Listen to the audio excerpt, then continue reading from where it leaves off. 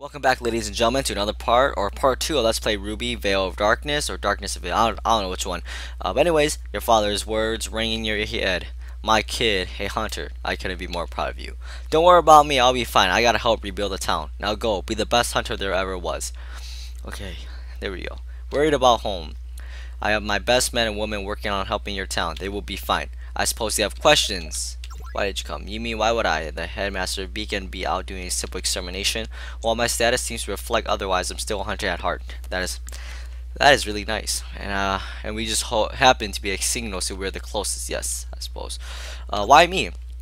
Why you? It's you mean for a hunter it's simple, but you'll see soon enough. I suppose you have questions. Where are we going? We're going to Signal. We will drop you off at a hotel. You spend the night, then you can board the airship to Beacon with other students. I suppose you have questions. I'm good. Excellent. We should be arriving shortly. Alright, where am I going? Oh, sir, I have just received information. What is it? It's Torchwick! Torchwick! Where? A dust shop not far from here. Oh, this seems like something we've seen before. Driver, take us to the dust shop. Wait, the Torchwick? The very same. Hang on, reports say someone's trying to detain him. Who? A teenage girl! Oh, is this is this the beginning of RWBY Volume 1 I sense here? Interesting. Where's We're here. Okay, where did it go? On the rooftop across the street. I'm going. So am I. No, you stay here. Oh, Glynda. Oh, you're right. Come on. Alright. And we're going to save on file 2. Oh, no. I, ugh. I had to change it. Oh, it won't change. Oh, it was a cutscene from RWBY Volume 1 when they're on the roof. Alright. This must be the girl they mentioned. Coming off and... Oh, what? Never mind. We gotta catch him. Brace yourself. It's attacking. Alright. Oh, we got the background music. Oh, gosh. Alright. Let's Let's take out the airship. Alright. Now, the first time I played through this, funny fact, Ruby died. yeah, the first time I played through this, I let the main character of Ruby die. And uh, that was that was really, really bad on my part to let Ruby die because she's dead and that means there isn't the series shouldn't even exist if Ruby's dead. so that was really bad on my part for letting Ruby die, but hopefully I won't let her die. So I uh, forgot that Glynda can uh, use her skills and stuff like that, and she can heal each other or heal the team, which I totally for uh, didn't even know that during the time of the, my first playthrough. So I didn't know that I could heal Ruby or myself. So basically, like I said, Ruby died, and uh, it was it was just really really sad. I'm gonna heal everybody. Oh my gosh! Wow, that huge damage off Ruby. That was terrible. I'm gonna restore everybody's health once more, and just so uh, you know we won't die. And let's use some manipulation there. Yeah, Ruby takes a, lot of damage. It's insane how much Ruby she uh, or how much damage she takes off from everything. And hopefully, I can keep her alive for the last couple seconds and just use all her attacks on this ship rather than having to use the rest restoration on us, and I totally missed that one. Oh, who took the most damage? Ruby took the most damage. Okay, I think I think she will be okay. And yes, Ruby got the final blow. We won! What an exciting fight. I've gotten stronger. The enemies dropped something. Okay.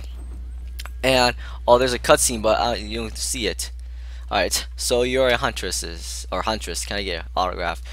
And then Osmond dropped you off at the hotel took the girl away. And that's when Ruby and Osmond and Glynda have that one talk about the silver eyes and going to Beacon, and you decide to rest. Sweet. The next day in the airship to Beacon. Okay, so I think it might, it might not show the cutscene. I don't think I'm gonna show any of the cutscenes. I don't want to uh, do that part. I don't know why. Oh God, I think I'm gonna. Okay, so that's Jaune. Hey, you over here? Two people talking. Oh, I can't believe my baby sister's going to Beacon with me. This is the best day ever.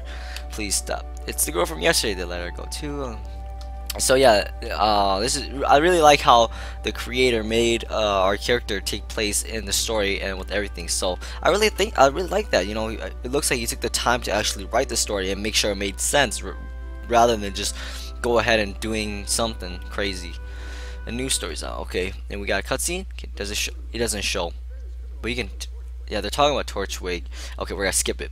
Your new life awaits after a few minutes, you finally land at Beacon Academy. Get off the airship and start to look around. Alright, the beacon. Oh my gosh, the courtyard. Was that an explosion? It sounded like it came from up ahead. I go over here, and what is this? Unbelievable. This is exactly the kind of thing I was talking about. I am really, really sorry. You complete dolt. What are you even doing here? Are you a little young to be sending beacon? And so we already know what happens. argument, argument, and here comes Blake. Alright, why Schnee? Here's to the Schnee Dust Company, one of the largest produ largest producers of energy propellant in the world. Widely a recognition, the same company famous for its controversial labor force and questionable business partners. And, okay, anyways, Everybody leaves and Ruby's here by herself. And, oh, Blake leaves her. Welcome to Beacon. Maybe you should say something. Should we say something? Let's go ahead and say something. What should I say? Uh, did you explode? you heard that? Uh, I'd be surprised if all Beacon didn't hear it. Hey, you're the one for the rooftop. Are you a hunter like Linda? Uh, I wish. Oh, you're a new, you're a student here too. My name is Ruby Rose. Nice to meet you. What's your name? You tell her her name. Wow, are you are those dual range pistol katanas? Awesome, I got this. It's Crescent Rose, the gun scythe. I love seeing new weapon. It's like meeting new people, only better. I go with first impressions. You couldn't tell? Didn't you see what happened just now? I mean, I might not exactly make many friends here. Uh, but what about me? You and me? Heh, first you save me from an airship, then you want to be friends? You are really cool. Thanks. Alright, sweet. We're friends with Ruby and you sense Ruby's gratitude and cheerful attitude. You are now friends with Ruby Rose. As you make more friends, you can spend what, what, wait, wait, wait. As you make more friends, you can spend with them after classes or whenever you have free time. The more time you spend with them, the closer you become. Now then, do you know where we're supposed to go? Not a clue. I guess we should start looking then. Alright. And then, who's over there? Hey, isn't that Vomit Boy? Oh yeah, he was on the airship. Uh, was I supposed to take a left or was it to the right? Maybe I go back. Maybe you should help him. Hell, you lost too. What? Uh, no, I know I'm going. Great. We don't know where we're going or we're supposed to go. Okay, can you tell us? Oh, okay, I'm lost. Yay, Jaune with his lying attitude. oh, my name is Ruby and this is my friend. What's your name? Well, the name's Jaune Arc. Short, sweet, rolls off the tongue. Lady love, ladies love it. Do they? They will. I mean, I hope they will. You see, my mom says. Never mind. Okay. We got the thing. Ruby pulls our scythe. Whoa, that a scythe? And basically, it's just everything that they go through in RWBY Volume 1 and uh, dual range pistol katanas. Say what? There's swords that fire bullets. I got the sword and the shield too. Uh, the shield gets smaller so when I get tired carrying it I can just put it away. That's pretty neat. You think so? Thanks. But when I weigh the same, yeah it does. Oh, she's a dork when it comes to weapons. When you made that, you didn't make yours. It's a hand-me-down. Yep, so it's really, I just, I cannot stress enough by how awesome it is, how the guy who made the game literally made it go with the story. So I love it. Alright, and I, we gotta go, oh my gosh, alright, we gotta go over to the ceremony. And I really love the little uh, sprites he made for the characters. And, oh, Ruby over here, I saved you a spot. Hey, I gotta go see you after the ceremony. Hey, wait, where am I supposed to find another nice, quirky girl to talk to? And I'm gonna find somewhere to stand. What should you do? follow Ruby or follow. Last time I followed Ruby, and we already know what happens with if with Ruby. With well, excuse me, we already know what happens when Ruby goes to Yang. They, you know, have that argument thing with Dwight. So we're gonna go to Jaune. Alright, oh hey, I meant to ask, how did you end up at Beacon? Uh, Osmond invited me here. Wait, Osmond personally invited you to attend Beacon? Holy cow, what did you earn that? What did you do to earn that? I saved my town from a girl. Wow, really? I can't do anything like that. You! Weiss appears to have found Ruby. What's going on? Wait, are they talking about me? Tall, blonde, and oh, Osmond is starting his speech. And uh, he kills off his speech and everything like that. And everyone wants to went to the sleeping area after the speech. There was no room for you though, so you decided to take a breather outside. Start staring at Beacon, all pretty. Wait, I cannot read. Staring at Beacon and pretty much all of Vale, you wonder what awaits you. The silence seems strange after the recent days you spent without it. Oh, oh, oh, Jaune. Oh, you're here too. Hey, Jaune, my man. Okay, I just came out for some fresh air, but it looks like you beat me to it. Great minds think alike. Yeah. By the way, thanks for helping me earlier. I probably would have missed the ceremony if it wasn't for you and Ruby. Speaking of her, she is downstairs having another shot making friends, but I'm, but it isn't going so well. I'm pretty sure White's got involved in.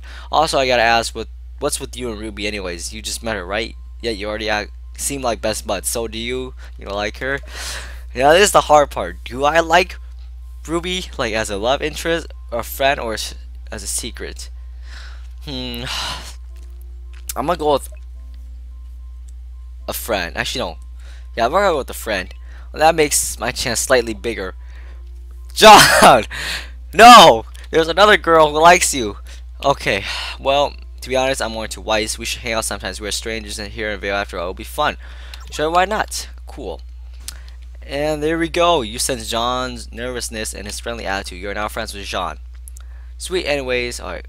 And there you go. Anyways, I'm gonna end this episode here and we'll be back again. Anyways, thank you ladies and gentlemen for watching this episode. Let's play RWBY. I don't even know, Vale Darkness, Darkness of Vale.